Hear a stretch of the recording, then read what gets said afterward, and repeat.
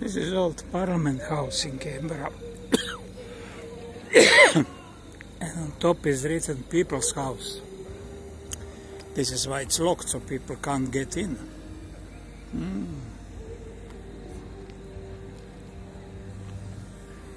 There are just lights outside.